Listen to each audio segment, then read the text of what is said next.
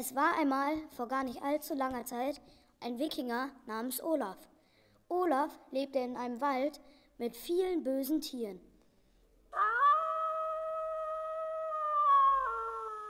Tag für Tag kämpft er um sein Überleben. Mittlerweile ist er so stark, man könnte denken, er hätte Superkräfte. Doch heute war der Tag, an dem er seine Kraft nicht mehr unter Kontrolle hatte.